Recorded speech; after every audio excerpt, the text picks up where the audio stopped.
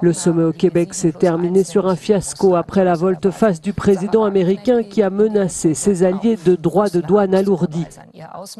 Angela Merkel s'inquiète particulièrement des menaces américaines sur les importations de voitures. Il faut dire que beaucoup de véhicules allemands circulent aux États-Unis. Les automobiles représentent en valeur le quart de ce que ce pays exporte vers les États-Unis. Le tweet de Donald Trump est bien sûr dégrisant et un peu déprimant, a déclaré la chancelière allemande à la télévision.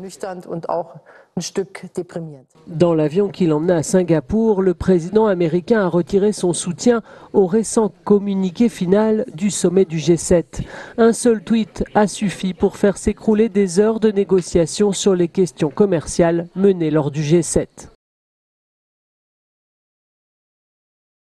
La cause de la colère de Trump, Justin Trudeau, le Premier ministre canadien, qui a persisté à dire que les nouveaux droits de douane imposés par les États-Unis au Canada sur l'acier et l'aluminium étaient insultants au regard de l'histoire entre les deux pays.